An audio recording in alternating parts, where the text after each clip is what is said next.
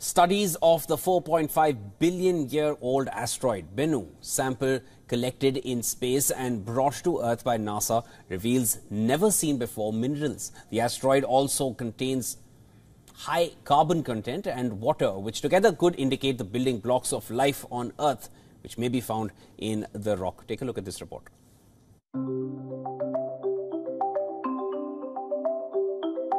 A rocky relic is all set to reveal the most astonishing secrets. And why not? The relic is from Bennu, once seen as a potential doomsday asteroid. Samples from this near-Earth asteroid were brought by NASA's pioneering OSIRIS-REx mission. They hold answers not just to questions on the building blocks of life, but also on strange new minerals. Bennu has a surprising reservoir of a mineral called magnesium phosphate. These bright white particles are a rare find in astromaterials.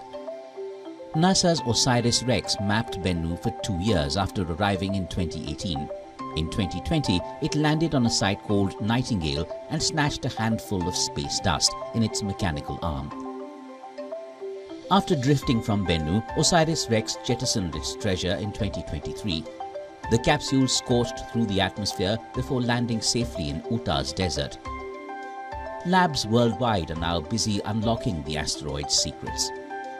The secrets held within the rocks from the asteroid will be studied for decades to come. They will offer insights into how our solar system was formed, how materials that are a precursor to life were seeded on Earth, and what precautions need to be taken to avoid asteroid collisions with our home planet.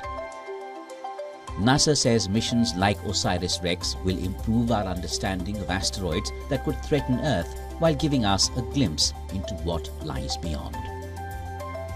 Bureau Report, WION World is One.